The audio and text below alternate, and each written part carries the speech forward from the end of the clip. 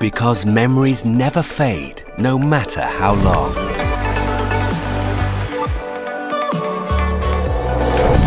We'll still remember the moments of excitement and the impressions of Thailand.